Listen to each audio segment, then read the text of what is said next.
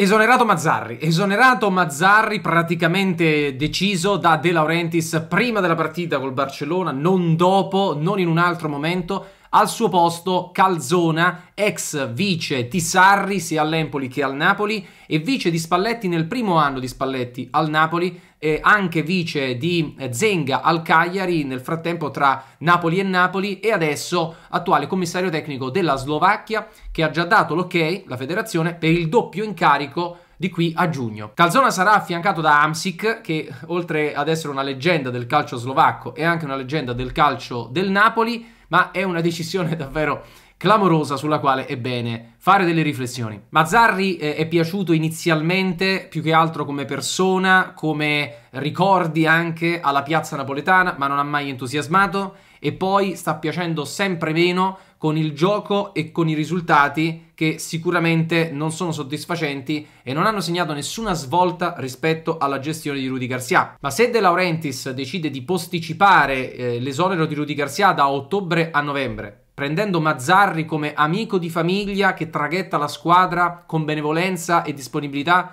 fino a giugno, ma mettendolo nelle peggiori condizioni per iniziare, dopo non lo può cacciare così. Dopo se lo tiene, anche perché che significa togliere Mazzarri per togliere alibi ai giocatori e dare una scossa alla squadra? Questa squadra è passata dall'essere allenata in maniera ottima per due stagioni o quantomeno la stagione scorsa, chi è stato acquistato nell'estate 2022, all'essere allenata da Rudy Garcia Adesso Mazzarri, terzo cambio in panchina, ma cos'è? La Salernitana? Con tutto il rispetto e sapendo bene che i tifosi del Napoli non sono molto amici dei tifosi della Salernitana. Squadra campione d'Italia cambia tre allenatori nella stagione successiva. Tre per ora, perché bisogna vedere poi se Calzona resterà fino a giugno e soddisferà De Laurentiis, il quale nelle ultime dichiarazioni, nella famosa conferenza stampa lunghissima, aveva per l'ennesima volta rievocato il fatto che Spalletti lo ha ingannato perché aveva detto che sarebbe rimasto fermo a coltivare la terra e poi guarda un po' se ne va Mancini e lui accetta la panchina della nazionale. E invece di dire ma vai Luciano figurati la nazionale è la nazionale capisco che volevi star fermo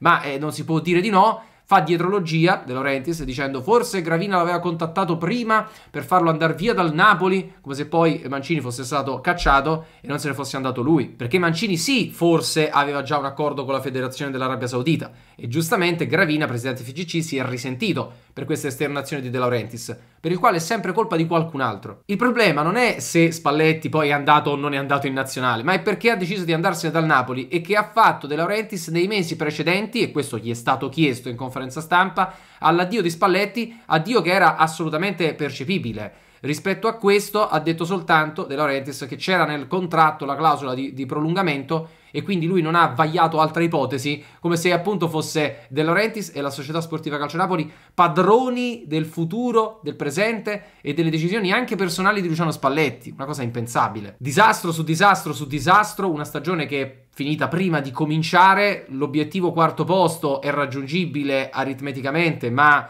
è ancora qualcosa di molto difficile perché siamo alla seconda sterzata nel corso della stessa stagione, ma a questo punto saremo impopolari nel pensare che forse era meglio tenersi Rudy Garcia ma forse era meglio tenerselo, visto che con Mazzari non c'è stato questo grosso miglioramento e si deve cambiare un'altra volta allenatore. Quantomeno per dare continuità di rendimento, continuità di allenamento ai giocatori, perché altrimenti si perde qualunque cosa si possa essere costruita nel breve tempo di un'esperienza da allenatore del Napoli. I tifosi magari saranno sollevati per l'esonero di Mazzarri e fanno anche bene a pensarla in positivo in questo momento, ad avere fiducia e a credere nel lavoro di Calzona che potrà essere migliore. Ma resta il fatto che non è così che si risolvono i problemi, anzi così se ne creano degli altri. E se un presidente può esonerare quanti allenatori vuole, non c'è un allenatore che può esonerare un presidente, ma forse c'è una tifoseria che a un certo punto può dire grazie Aurelio, ma basta così.